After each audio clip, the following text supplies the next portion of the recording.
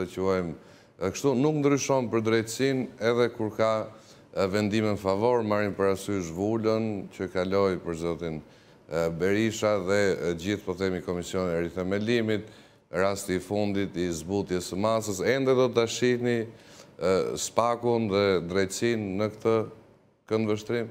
Xhoi, nuk mund të nisesh nga raste sporadike për të bërë një konkludim final për drejtësinë.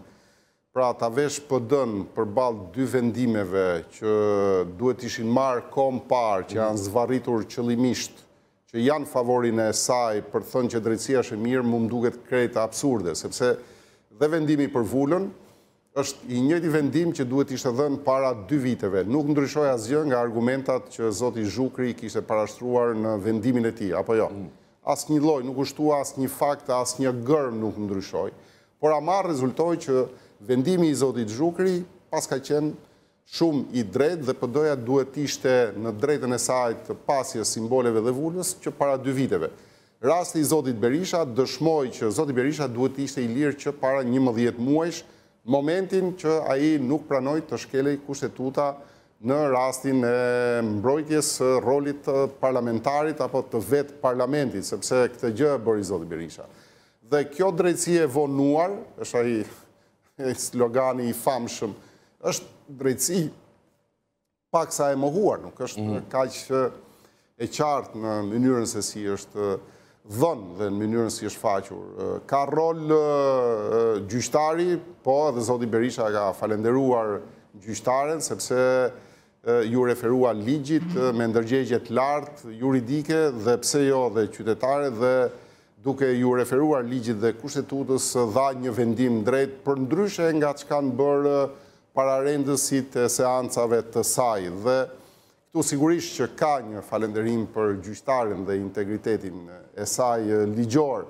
Por sistemi i drejtësisë shihet në kompleks, se duket sikur PD-ja është ka një kundërvënie me drejtësinë. Jo, PD-ja e kanë mbështetur, deputetët e PD-së e po, kanë votuar. Ju në rast se fitoni, do do të ecni përpara me këto struktura të reja? E kanë votuar reformën në këtë kuadër po. do ta them. E kanë votuar reformën në drejtësi, e kanë mbështetur SPAK-un përkundrejt tendencave për ta rrëmbyer SPAK-un brenda Ministrisë së Brendshme, Unë kam qenë vetë në seancën e parlamentit, debatet me ish ministrin që janë bërë edhe për BKH-në dhe për Spakun, por Spaku cedoi që në momentin e parë, kur dosjet 184, 339 i transferoi në prokuroritë e rretheve dhe i pushoi siç u pushuan, jo ai vetë, por nëpërmjet delegimit që i bëri këtyre dosjeve, nuk veproi në krimin zgjedhor. Dhe sot SPAK-u nuk vepron me krimin zgjedhor.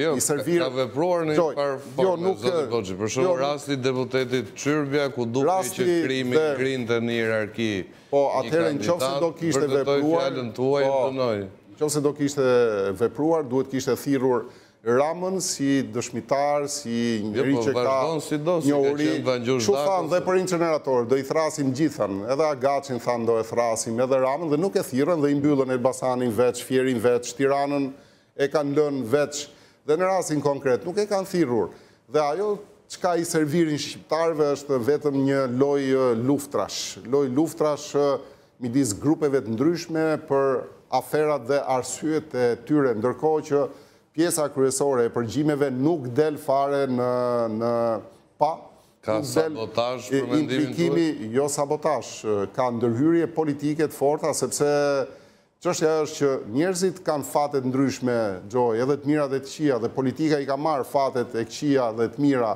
të njerëzve dhe i ka përdorur në fushatat politike dhe fatin e keq të atij që sot është anëtar i një grupimi të caktuar që konsiderohet bandë për shkak të aktivitetit kriminal, e ka përdorur për qëllimet politike, duke ofruar gjoja mbështetje, sepse vjen një moment pastaj ia heq këtë mbështetje, ka përdorur dhe fatet e mira të njerëzve, ka përdorur mësuesit, mjekët, gjithë i ka përdorur.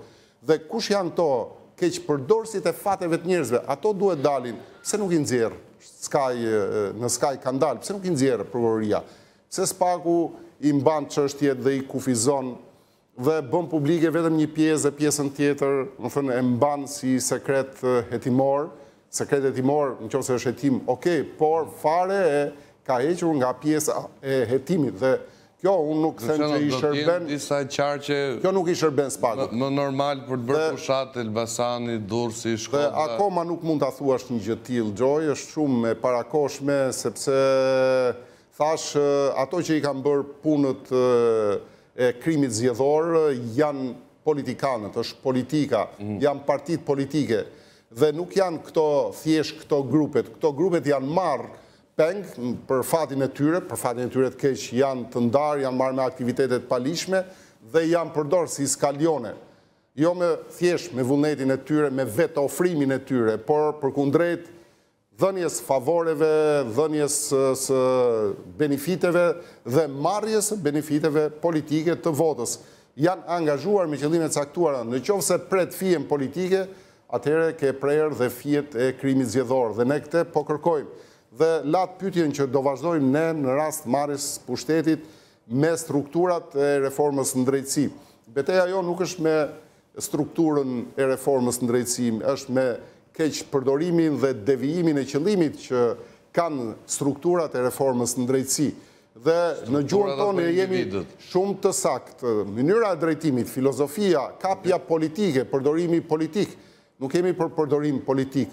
Ata që janë kapur në korrupsion me krim zgjedhor dalin para ligjit, nuk ka të paprekshëm, gjoja sipas përcaktimeve, Por, pyetja është shumë e thjeshtë, pse nuk arrestohet Veliaj pas daljes së 5D-së, pas daljes së aferës së inceneratorit?